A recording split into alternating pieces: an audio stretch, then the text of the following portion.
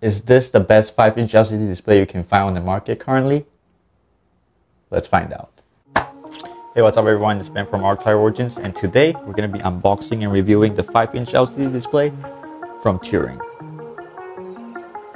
Let's get it. Alright, first thing we're going to do, we're going to unbox this screen first and see what's inside and then I'll show you guys how to install it. So inside here, we have a USB-A to USB-C cables, a USB 2.0 header, and this one goes into your motherboard, and this will go into your screen here. A micro SD card that goes into your 5-inch LCD display here, a stand for your LCD screen, so if you want to just set it aside and don't want to mount it into your PC case, you can definitely do it with this. And then we have the mounting bracket, which I'll show you guys how to install later. And then we have the screen itself. This specific model, it's in black. They also come in white. So this is the white version. Essentially, if you're just connecting it to your motherboard, this is the only cable you need. All we have to do is just grab this part, just kind of plug it in here, and then you can plug this one into your motherboard. So I'm gonna install this I'm going to install this screen onto a PC and then I will plug this into the motherboard and then I will show you guys how to uh, do configure the app. It's super easy and user friendly. There's also this uh, micro SD card you have to put it in. So let's go ahead and put this one in. Soft click, just like that. And then we're ready to put it into our PC.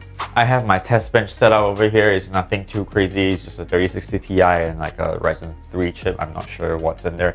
It's been so long, I forgot. And then I also have my portable monitor set up over here. Uh, if you guys are interested in getting a portable monitor like this for yourself instead of like a regular 27 inch, I will also link it down the description below. So uh, for folks who need like a portable monitor, this is something we got from Amazon for like a hundred bucks. This one is a 1080p 60 hertz monitor, nothing too crazy over here uh, let's get the job done. So we just need something to display. So if you guys want me to do a review on this 1080p 60 hertz monitor over here, be sure to comment down below and let me know. So I'm just gonna use the test bench here and then kind of show you guys how to plug in the connectors. Basically just one connector is not too hard. All right, let me go ahead and power this off so I can kind of show you guys how to do it. All right, so first thing you're gonna do is you're gonna locate where your USB 2.0 header on your motherboard is. Typically a motherboard will come with two USB header and we have both right over here. So you can do with it uh, whichever one it doesn't really matter. And let's go ahead and plug that one in. And you want to make sure the one without a hole face down. So it goes in like that and boom that's it on the motherboard and then you have the other side of the connector that goes in to your LCD display over here so just go ahead and plug that one in. Boom, just like that. And then we're done with the installation. Super easy. All right, now we're gonna go ahead and power on the test bench. So while we're waiting for that, I'm gonna go through one thing real quick. So when you open up the manual, you see they tape like a little patch note over here that says 5-inch software and instruction download link goes to here. So this is just a Google Drive download link where they put all the software and files in here. Uh, what we're gonna do later is we're gonna look up this link and then download all the stuff from there. I'll show you guys how to do it. Alright, so now that the PC has booted up, like I said, we're just gonna go to the link over here. I will link this one down in uh, the description below. So if you guys can don't have the access to this for some reason, you can always look it up in the video description. So let's open up Chrome. Okay, and then we're gonna type this one in HTTPS. Make sure you follow the exact capital for, for the link. Go. Okay, so now we're in this Google Drive file where it says there's a bunch of 5-inch software, instruction, and all that stuff. All we need is this thing right here. So you're gonna download this click download on that then it should start downloading and then what you get is it's gonna start zipping the file we already have that, so I'm just gonna cancel download. Once you have the file download, it's gonna look something like this. Be sure to unzip your folder first before you do proceed with anything. And then you're gonna scroll all the way down and double click the USB monitor L right here. double click that. Do you want to allow this app to make changes? Select yes. Now the, the software is gonna boot up and start reading some info. And here is where you can select all the stuff. So there's already a lot of pre-installed theme ready for use. Let's go ahead and select one real quick, like the Cyberpunk one, and then we can hit run. And then it should just show up here right away in just a second after it's done rendering. Oh, there we go. As you can see, everything is already ready to go. It has uh, the CPU, Ryzen 3 1200, the RTX 3060 Ti, 8 gigabytes of RAM, and then it has the time, volt, date as well. It's pretty much plug and play. All you have to do is just hit one button, let it render, you have a, a screen panel to monitor your temperature and stuff. So let's say if you if you don't want this orientation, you can always hit uh, stop over here and then uh, click on the rotation zero degrees because since this is a vertical uh, sensor panel there's uh, it's only zero and 180 degrees so you can hit zero and then it should be uh, rotate 180 degrees so this is the way it looks like now. And then you can also adjust the brightness.